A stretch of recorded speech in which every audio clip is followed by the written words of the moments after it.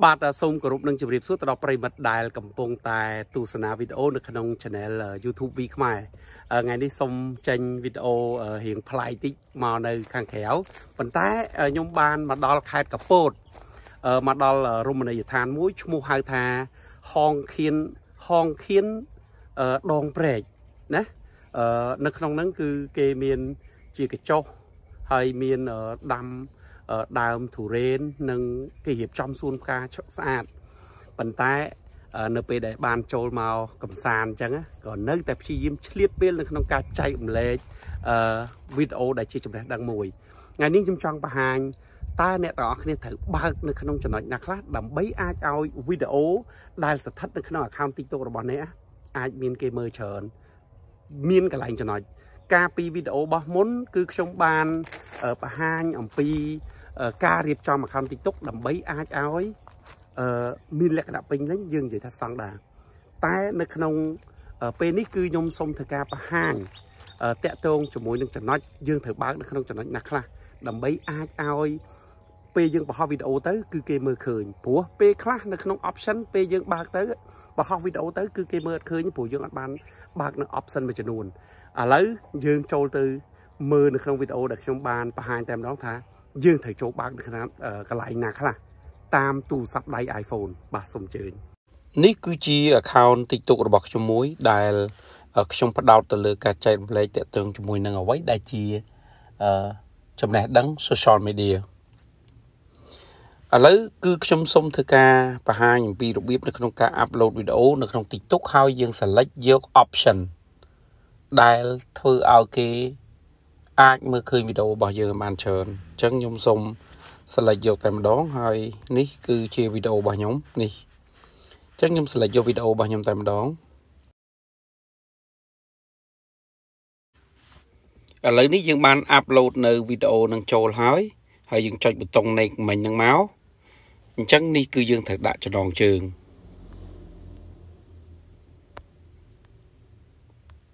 យើងដាក់ចំណងជើងមកណាអញ្ចឹងអ្នកខ្លះគេបានប្រាប់យើងឲ្យយើងដាក់លេខ9គេហៅថា9 9ត្រង់ជ្រូកហើយ share link គេអីហ្នឹង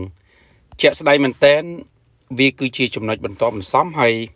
រឿងដែលយើងត្រូវធ្វើគឺយើងបំពេញឥឡូវឧទាហរណ៍ថាវីដេអូដែលខ្ញុំចង់ធ្វើការបង្ហោះហ្នឹងខ្ញុំចង់ take ឲ្យណាគេខ្លះដែលជាមិត្តភ័ក្តិរបស់ខ្ញុំណាឥឡូវខ្ញុំឧទាហរណ៍ថាបោះបងមួយអញ្ចឹងទៅដែលខ្ញុំចង់ take ឲ្យគាត់ បោះបងនេះមួយទៀតអញ្ចឹងទៅខ្ញុំដាន់ប៉ុណ្ណឹងទៅនេះខ្ញុំ take ឲ្យគាត់ location ទីក្រុងភ្នំពេញឬក៏នៅណាទៅតាមលក្ខខណ្ឌដែលយើងអញ្ចឹងកន្លែងនេះ who can watch this video កន្លែងនេះគឺយើងត្រូវពិនិត្យបច្ច័យឲ្យបានមែនតើគឺយើងត្រូវដាក់វាមាន only me មាន friends និង everyone អញ្ចឹងកន្លែងនេះគឺយើងត្រូវយក everyone មានន័យថាតើអ្នកណាខ្លះដែលអាចមើលឃើញវីដេអូរបស់អ្នក អញ្ចឹងយើងត្រូវយក everyone ដើម្បីអាចឲ្យ គេមើលឃើញវីដេអូរបស់យើង គ្រប់គ្នាកន្លែងនេះគឺ allow comment អាចឲ្យគេ comment បាន allow doer មានន័យថាអាចឲ្យគេកាត់ឧទាហរណ៍ថាយើងបរោះចម្រៀងគឺយើងអាចឲ្យគេយកចម្រៀងយើងបាន alert strict នេះមានន័យអាចឲ្យគេកាត់តជាមួយយើងបានណានិង allow high quality upload នៅពេលដែលយើង upload កន្លែងនេះគឺទៀមទាបើសិនជាយើងអត់បានបើកទៅនេះទេនៅពេលដែលយើងអាប់ឡូតចូលមានន័យថាយើងបញ្ចូលវីដេអូរបស់យើងចូលទៅក្នុង TikTok ហ្នឹងគេនឹង compress វីដេអូរបស់យើងត្រូវអត់សូវច្បាស់អញ្ចឹងយើងត្រូវបើកយកកន្លែងនេះ original វីដេអូរបស់យើងដែលយើងបានដាក់ quality ប៉ុណ្ណាណា quality វីដេអូរបស់យើងនេះប៉ុណ្ណាអឺ HD ឬក៏ 4K ប៉ុណ្ណាគឺវាច្បាស់ទៅតាមលក្ខខណ្ឌហ្នឹង យើងងាកមើល more option នេះបន្តិចនេះ more option តែយើងអនុញ្ញាតឲ្យគេ save វីដេអូយើងទេណា audience control តើពេលខ្លះយើងបង្ហោះវីដេអូយើងត្រូវបើកវាដើម្បីគ្រប់គ្រងថាតើ audience របស់យើង អ្នកទស្សនារបស់យើងនេះយើងគួរតែផ្ដោតយកអ្នកណាណាកន្លែងហ្នឹងបើសិនជាយើងត្រូវការបើយើងអត់ទេយើងបិទវាទៅ allow streaker កន្លែងនេះគឺវាអូតូម៉ាទិកយើងនេះយើងត្រូវបើកវាអញ្ចឹងទៅខ្ញុំសុំខ្វែងត្រឡប់មកថយក្រោយហើយខ្ញុំចុចពាក្យថា post ហើយកន្លែងនេះខ្ញុំយកពាក្យថា post video នេះគឺខ្ញុំបានអាប់ឡូតវីដេអូនេះហើយអញ្ចឹងខ្ញុំសូមចូលមកមើលនៅក្នុង account របស់ខ្ញុំបន្ទាប់ពីនេះយើងចូលខាងនេះសូមគោរពនឹងជម្រាបនេះនេះគឺខ្ញុំបានអាប់ឡូតចូលហើយវីដេអូមួយនេះគឺយើងអាចអឺ មួយឈ្មោះហៅថា share ចូលទៅក្នុងអឺ Facebook page chat Telegram ទៅតាមការចង់របស់យើង មួយទៀតចុះបើសិនជានៅក្នុងគណៈអានេះគឺជាវីដេអូដែលខ្ញុំបានអាប់ឡូតចូលថ្មី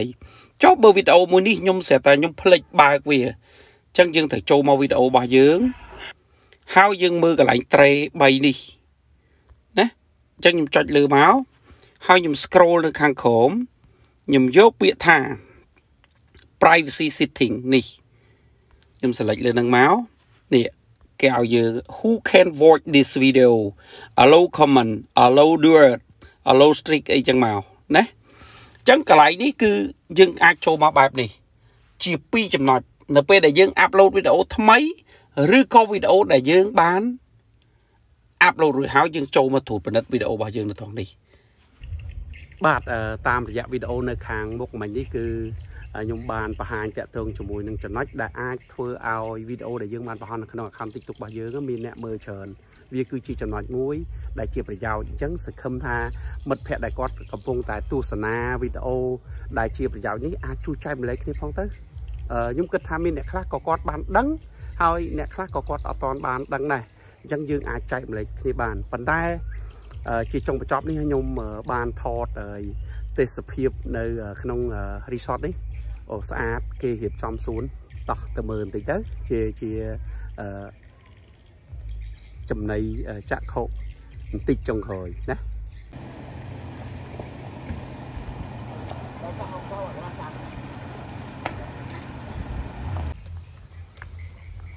នេះជាសួនគាត់ដាំហើយនេះគឺដើមតារ៉េន ហើយសួនមានផ្កាគេធ្លាក់ចុះមកស្អាតនៅក្នុងនេះស្អាតអ្នកទាំងអស់គ្នាអាចមកលេងបាននៅខេត្តកពតអឺហុងហៀង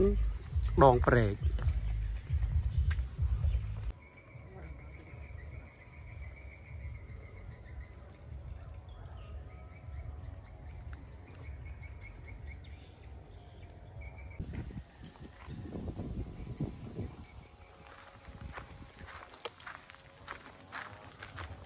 យើងឃើញថា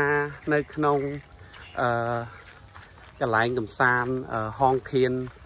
ដងព្រែកនេះគឺគេរៀបចំសួនមិនត្រឹមតែប៉ុណ្្នឹងទេណាគេមានដាក់សัตว์ដើម្បីអាចឲ្យយើងមើលទៀតសួនច្បារហើយនៅអមនេះសិតតែ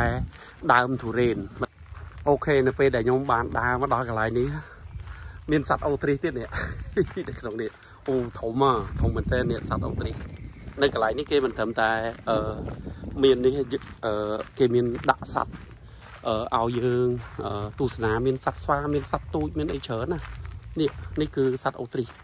នេះនេះនេះមើលវាកំពុងមើលយើងអូនេះធំមែនអឺនៅកន្លែងនេះវាមានកញ្ចុះអីអាចមកអង្គុយញ៉ាំនៅជាអាហារកំងហើយសម្រាប់មន់វិញគឺកសិដ្ឋានគាត់នៅក្រោយមិញគាត់ចិញ្ចឹម ហើយគាត់ដូចជាមានដាំបន្លែផ្ទាល់ខ្លួនទៀតហ្នឹងហើយហើយនោះកន្លែងនេះមានសិទ្ធិសត្វនេះមកជួននេះមានសត្វទាំងអស់នោះសត្វម្សាយមានសត្វអីផ្សេងផ្សេងច្រើនទៀតនេះនេះមានសត្វច្រើនមែនតើនោះសត្វទូចនោះអញ្ចឹងសូមបង្ហាញប៉ុណ្នេះតកតងជាមួយនឹងរមណីយដ្ឋានហងហ៊ានដងព្រែក